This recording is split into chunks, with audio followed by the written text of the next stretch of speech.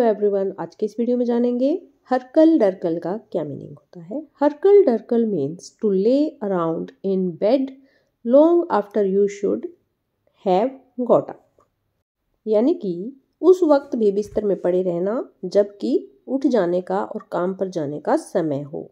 यानी लंबे समय तक बिस्तर में ही पड़े रहना, जबकि उठने का टाइम हो। This is known as हरकल डरकल। That's all in this video. Thanks for watching.